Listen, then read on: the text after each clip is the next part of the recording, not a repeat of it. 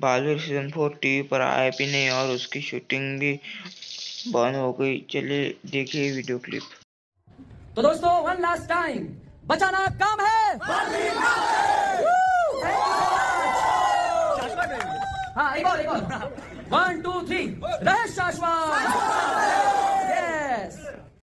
तो भाई लोग मैं आप लोगों को बताना चाहता हूँ कि सीज़न फोर जो है बालवीर का उसके पूरे के पूरे एपिसोड बना चुके हैं और आप लोगों को ये एपिसोड जल्दी देखने को मिलेंगे।